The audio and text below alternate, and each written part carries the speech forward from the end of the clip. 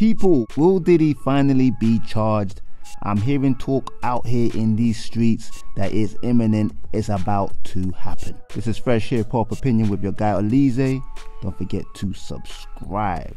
So Keefe D, who's obviously been charged with his involvement in the Tupac murder, was in court recently. It was actually a bail hearing, and Diddy's name is mentioned 77 times in the Tupac case with Keefe D. Whether it's through his name Diddy or Puffy or Brother Love, Sean Combs, all the different aliases, but he is mentioned multiple times. I said 77 times to be exact. Now, most people do not expect Diddy to be subpoenaed or indicted for this case because it is pretty much all hearsay. Everybody who could corroborate Diddy's involvement are either very untrustworthy or dead already.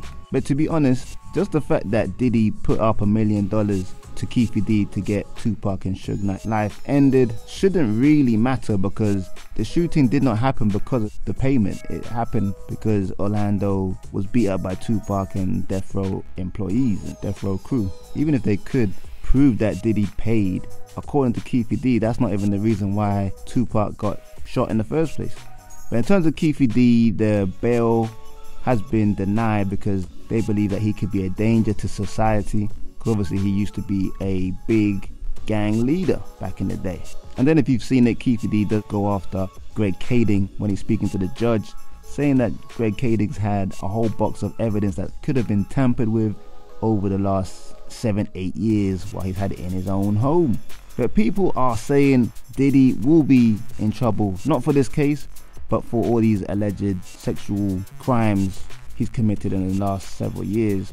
Obviously, multiple people in law enforcement are saying this, even referring to the fact that when R. Kelly's home was raided, it was only a matter of three or four months later that he was arrested and charged.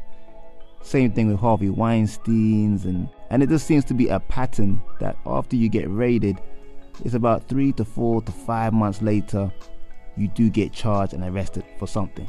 And for Diddy, I mean, it's been about at least two or three months, so that's why people are saying he'll be charged and arrested by latest September. So that's in less than two months. And I wouldn't be surprised either.